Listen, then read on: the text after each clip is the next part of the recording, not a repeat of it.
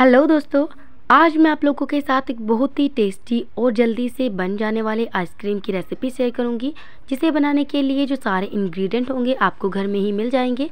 और फ्रेंड्स हम इसे बहुत ही आसानी से बना के रेडी करेंगे और खाने में इसका स्वाद भी बहुत ही ज़्यादा लाजवाब है। आप लोग इसे वर्त में भी खा सकते हो, क्योंकि हमने कोई भी ऐसी चीज़ में नहीं डाली है कि आप इसे वर्त में ना खा पाए। आप लोग वर्त में भी इसका पूरा लुत्फ़ उठा सकते हैं। तो चलिए फ्रेंड्स बहुत ही टेस्टी से आइसक्रीम को बनाना शुरू करते हैं। तो फ्रेंड्स, ये आइसक्रीम बनाने के लिए सबसे पहले मैंने यहाँ पर चार कप दूध लिया था, यानी कि नाप के चलिए तो ये एक लीटर दूध था। और अब यहाँ पे क्या करेंगे? हमें ये दूध जो है फ्रेंड्स, उसे हमें अच्छे से उबाली आने तक गाढ़ा कर लेना है, यानी कि इसको हमें थिक करना जब तक कि चार कप में से सिर्फ़ दो कप ही नहीं रह जाते। अगर आप लोगों को बिल्कुल कम दूध से आइसक्रीम बनानी है तो उसका वीडियो भी मेरे चैनल पर मैंने अपलोड किया है। सिर्फ़ एक कप दूध से आप आइसक्रीम बना के रेडी कर लेंगे। तो फ्रेंड्स हमें क्या करना है? देखिए, आप देख सकते हो, जो क्वांटिटी है, वो कम हो गई और दूध का कलर भी आप लोग को थोड़ा येलो दिख रहा होगा। और ऐसे जैसे रबड़ी बनाते हैं सेम वही रबड़ी वाला प्रोसेस करना है। मलाई को इस तरीके से मिलाते जाएँगे और अब यहाँ पे हम इसके अंदर थोड़ा सा मीठा ऐड करेंगे। यानी कि हमें चीनी डालनी है तो जब ये थोड़ा आधा हो जाएगा, यानी कि थोड़ा कम क्वांटिटी में रह जाएगा, तब उसी टाइम पे हम इसमें थोड़ा मीठा ऐड करेंगे। तो यहाँ पर मीठा आप अपने हिसाब से एडजस्ट कर सकते हैं, चार या पाँच चम्मच के करीब। तो मैंने यहाँ पर चार चम्मच डाला था फ्रेंड्स आप ज़्यादा मीठा खाते हैं तो पाँच चम्मच भी ले सकते हैं। अब यहाँ पर मैं चार चम्मच इसके अंदर जो चीनी का फ्रेंड्स वो ऐड कर लूँगी। और अभी हम इसको थोड़ा और पका लेंगे, क्योंकि ये चार कप था तो दो कप के करीब मैं रख लूँगी। अगर दो कप से थोड़ा कम भी हो जाता है तो कोई दिक्कत नहीं है फ्रेंड्स तो चीनी डिज़ोल्व होने तक इसे चलाते रहेंगे मतलब अच्छे से ये रबड़ीदार हो जाए। अब यहाँ पर फ्रेंड्स मैंने लो फ्लेम पे दूध को छोड़ दिया था और यहाँ पे मैंने जो काजू थे फ्रेंड्स उसे भिगो के रख दिया था। तो आधे घंटे में काजू बहुत सॉफ्ट हो गए थे। मैंने गर्म पानी डाल के रखा था फ्रेंड्स तो आधे एक घंटे के करीब ही बहुत सॉफ्ट हो जाते हैं। तो इनका छिलका उतार लेना है हम। एक और दो इलायची मैंने भिगोई थी। जितनी क्वांटिटी आप रखना चाहते हो उतनी रख सकते हैं। अब जो गाढ़ा दूध था वो मैंने इसमें डाल दिया था थोड़ा ठंडा करके हम इसको ग्राइंड कर लेंगे। तो फ्रेंड्स ये एकदम फाइन ग्राइंड नहीं हुआ था, क्योंकि मिक्सी का जार काफ़ी बड़ा है मेरा। तो आप चाहें तो उसे सिलबट्टे पर भी पीस सकते हो, या फिर आपका मिक्सी ग्राइंडर का जग छोटा है तो बहुत अच्छे से उसमें पीस जाएगा। अब देखिए, यहाँ पे थोड़ा सा दरदरा रह गया था फ्रेंड्स तो कोई दिक्कत नहीं है, क्योंकि वैसे भी हम चॉप करके भी डालते हैं आइसक्रीम में।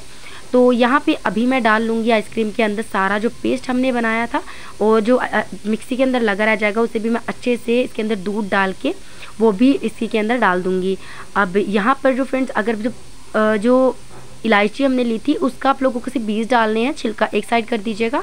अब यहाँ पे इसको चलाएँगे और थोड़ी देर इसको पकाने के बाद ये रेडी हो जाएगा और मैं दिखाऊँगी आपको कि ये कितना ज़्यादा थिक जो है फ्रेंड्स यहाँ पे हो चुका है क्योंकि चार कप से सिर्फ़ दो कप रहने में बहुत ज़्यादा थिक दूध हो जाता जाएगा फुल फैट मिल्क है तो उसे टाइम थोड़ा कम ही लगता है, लेकिन फ्रेंड्स ये गाय का दूध है तो इसमें थोड़ा ज़्यादा टाइम लगता है पकने में।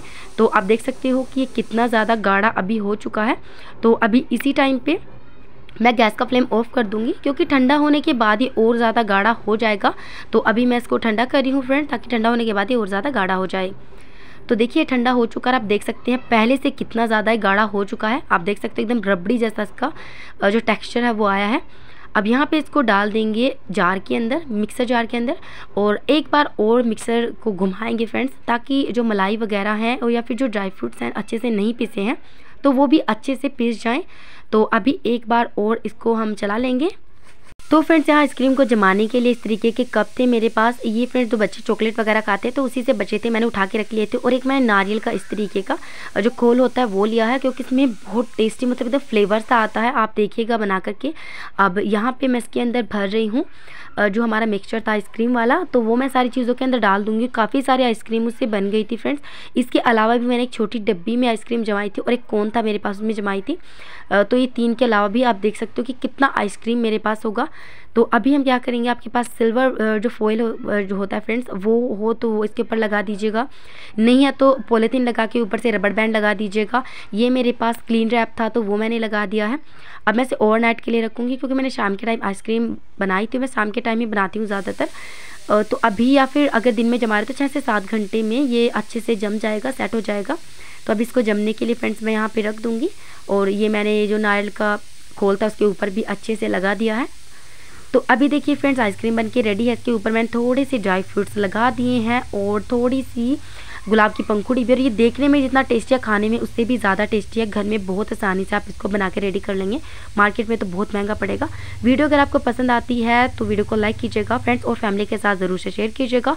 चैनल को सब्सक्राइब कीजिएगा अगर आप लोग पहली बार आए हैं। और बेलाइकन के बटन को फ्रेंड्स ज़रूर से प्रेस कीजिएगा, ताकि हर वीडियो की नोटिफिकेशन सबसे पहले आपके पास पहुँचे।